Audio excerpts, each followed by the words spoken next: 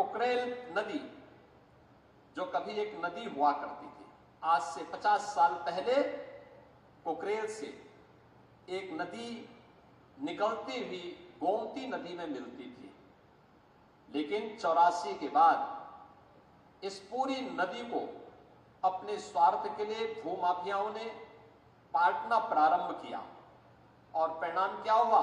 जो कभी नदी थी, वह फिर नाला बन गया। और फिर वह उन बस्तियों के ड्रेनेज को उड़ेलने का एक माध्यम बन गया। उसने एक नदी को तो मारा ही मारा, लेकिन साथ साथ गोमती नदी को भी प्रदूषित करने का काम किया। जिस नदी संस्कृति के ऊपर मानवीय सभ्यता बसी हुई है, उसको नष्ट कर दिया गया, समाप्त कर दिया गया। गोमती नदी लखनऊ में आकर के कितना कितनी काली हो गई है, किस प्रकार की स्थिति को पहुँच चुकी है? क्या इस पाप से हम कभी वंचित रह पाएँगे, जो यहाँ पर हुआ? और इसीलिए सरकार ने तय किया कि लखनऊ में आने वाले कोई भी अतिथियों, कोई भी पर्यटक हो लखनऊ वासियों के लिए भी, प्रदेश वासियों के लिए भी हम कुकरेल में एक नाइट सफारी की स्थापना करेंगे। नाइट सफारी यहाँ पे लोगों के पर्यटन और मनोरंजन के साथ साथ ज्ञान वर्धन का भी एक केंद्र बनेगा। लेकिन साथ साथ इको टूरिज़्म के एक बेहतरीन स्पॉट के रूप में हम पूरे कुकरेल क्षेत्र को डेवलप करेंगे।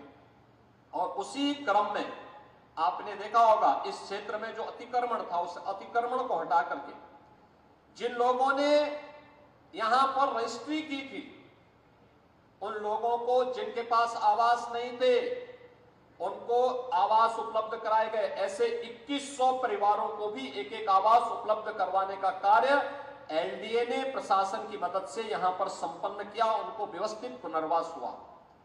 लेकिन साथ साथ जिन लोगों ने ज़मीन के धंधे के साथ जुड़ करके पर्यावरण को नुकसान पहुँचाने का काम किया और भूमाफिया बन करके लोगों को ठगने का काम किया ऐसे भूमाफियाओं के खिलाफ भी कार्रवाई करते एफआईआर लॉन्च कराते, उनके खिलाफ कार्रवाई की गई और सुप्रीम कोर्ट तक लड़ करके लखनऊ विकास प्राधिकरण ने आज इसे खाली करवाया है और खाली करवाने के बाद जहाँ पहले अकबर नगर के नाम पर यहाँ पे पॉल्यूशन का एक माध्यम बना हुआ था, आज वहाँ पर भगवान श्री राम के छोटे भाई लक्ष्मण जी के नाम पे सौमित्र वन का आज यहाँ पर गठन हुआ है।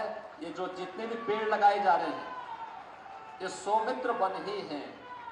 ये सौमित्र वन के ही हो रहे हैं। हर शंकरी के एक वाटिका मुझे भी यहाँ पे लगाने का अवसर प्राप्त हुआ है।